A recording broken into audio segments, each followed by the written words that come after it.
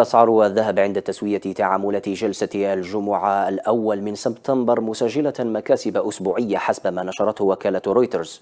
وعند التسوية ارتفعت العقود الآجلة للذهب بنحو 0.1% إلى 1967 دولار. أما على مستوى الأسبوع فسجلت الأسعار مكاسب بنسبة 1.4% وتفاعلت أسعار الذهب مع تقرير الوظائف الأمريكية الشهري والذي أظهر إضافة 187 ألفا في أوت. هذا وارتفع معدل البطالة إلى مستويات 3.8% وهو أعلى مستوى منذ فيفري.